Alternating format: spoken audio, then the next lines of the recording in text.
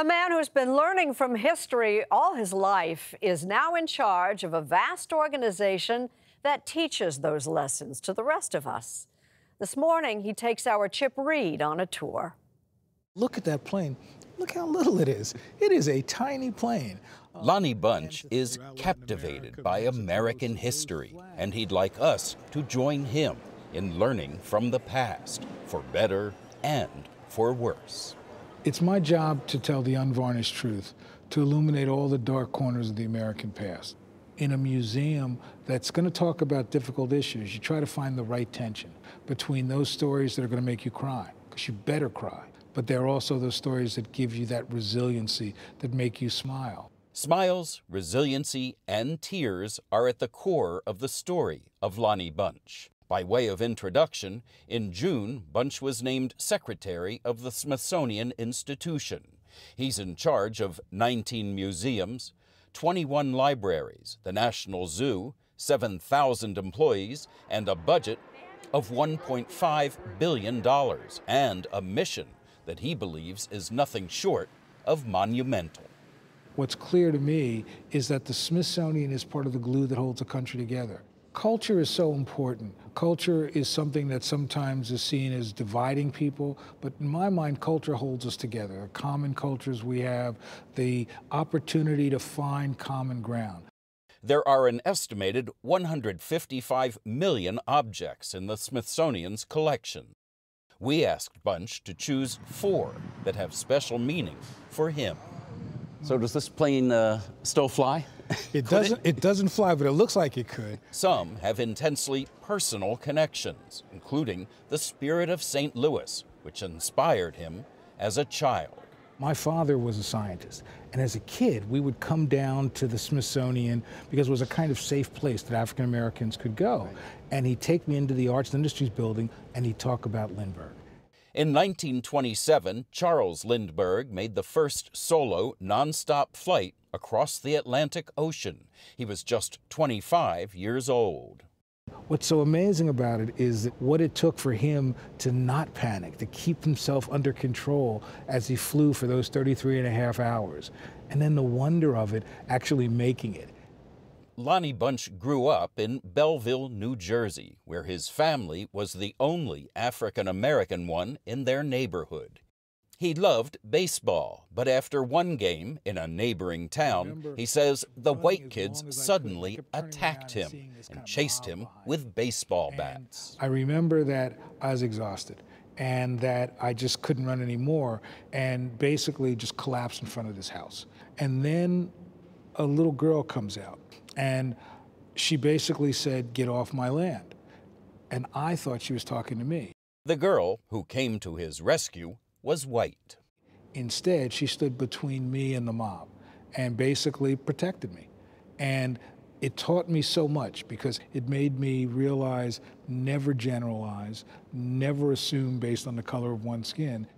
Personal experience helped a Bunch develop a passion for history, which he calls his teacher and protector. For me, history was both a way to understand the American past, but also a way to help me understand why some people treated me wonderfully and some people did not. Lonnie Bunch is the first African American leader of the Smithsonian in its 173 year history. I'm not unaware of the symbolic power of this for many people. Over the years, Bunch returned again and again to work at the Smithsonian. Air and Space in the late 1970s, American History in the late 80s. And recently, he spent 14 years overseeing the creation of the new National Museum of African American History and Culture, which opened three years ago and is the subject of his new book. You essentially started with nothing. We started with a staff of two. We had no idea where the museum would be. We had no collections. We had no money. This museum collected 40,000 artifacts, of which 70% came out of basements, trunks, and attics of people's homes. One of his most treasured objects, a tin box. I call it a tin wallet. A tin wallet? Mm -hmm. Oh, I like that. Mm -hmm. Handmade by a freed slave, Joseph Trammell, In the wallet, Trammell carried papers, proof of his freedom. Without that paper, you can be enslaved again. So the key is to protect it and to keep it. In, in, putting this museum together, did you get some pushback from some people who said, let's not emphasize slavery, let's emphasize the positive things and the heights that we've reached? Oh, there was an amazing amount of, oh, let's just say guidance that people wanted to give me. Guidance. Um, when we did surveys, the number one question people wanted to understand was slavery, and the number one question they didn't want to know about was slavery. So I knew that slavery and freedom had to be at the heart of this museum because it's the heart, at the heart of what America was and what America still is. You used to visit this as a college student. There was something so powerful about it and poignant. Back to the four objects Bunch selected. This one took us by surprise. A statue at the Smithsonian American Art Museum, which he's visited for decades. When I was an undergraduate at Howard, this was my escape. I'd wander through this museum. This made, very museum? This very museum, and be made better. Historian and philosopher Henry Adams commissioned the great sculptor Augustus St. Gaudens to create a memorial to his wife, Marian Clover Adams, a photographer who took her own life at the age of 42. You can look at that face and you could feel his pain. The fourth item Bunch selected for us is the lunch counter from a Woolworths in Greensboro, North Carolina, which he helped bring here. It is the lunch counter that really sparked a revolution. On February 1st, 1960, four African American students sat at the whites only counter and asked to be served. They weren't. And that excited people around the country to say, this is wrong. How could it be fair? That somebody could not simply sit at a lunch counter and eat. Across the country, more than 3,000 people were arrested until the lunch counters were finally desegregated six months later.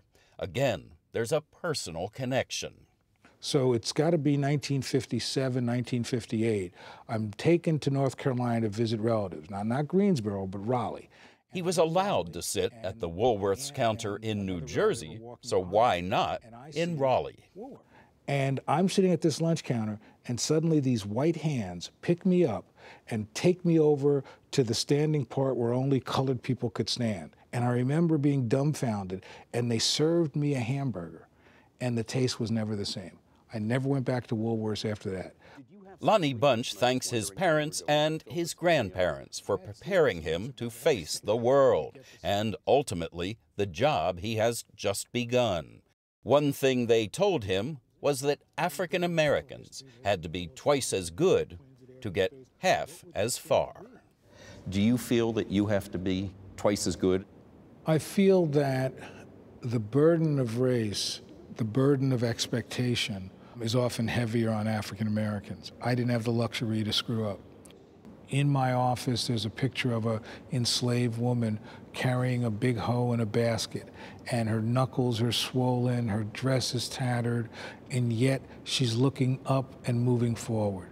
To me, being African American means you look up, you move forward, no matter how heavy the burden.